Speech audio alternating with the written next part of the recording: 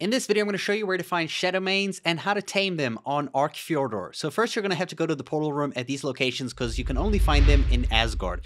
Once you get to Asgard, looking at the terminal over here, you're going to turn around, look at this penguin or Kairuku, and look at the big mountain over there. You're going to fly in this direction to the purple treed forest, right? So Shadowmane can be found in this area. Now, there are two of these areas. There's this one over here. And if you keep continuing in the direction that we're heading, you'll see there is another purple forest. Now, Shadowmanes can be found in both of these areas, right? So obviously a Shadowmane looks like this. I obviously am playing on a modded server, so that's why it's outlined in white, so you can actually really see it nice and easily. Now you got to sneak up on these boys and, and, and tame them.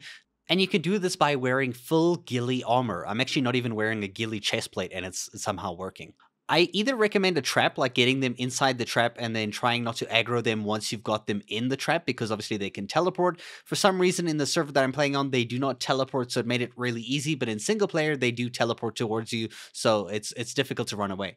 Now, Shadowmane will only eat fish, and you need a fish basket for this. I recommend using the cage if you're playing on a server with building collision disabled. Otherwise, you just need to use fish baskets and place it in water and hope a fish stays by long enough so that you can catch it. When you're looking at the quality of fish, right at the end of the fish's name, there will be a number. It'll be like 1.1x, like on the piranha we just caught. The best you can get is 1.5 and higher to tame it very effectively and very quick. Otherwise, I recommend getting 1.2 or higher just in general.